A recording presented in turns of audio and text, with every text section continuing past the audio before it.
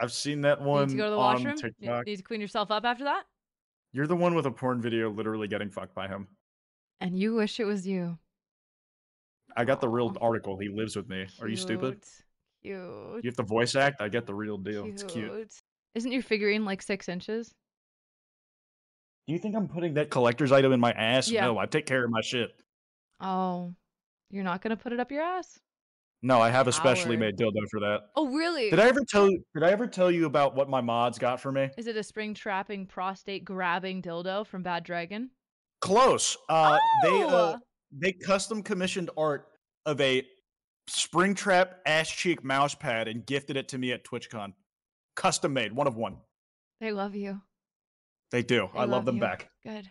Ghost guy, I will suck your.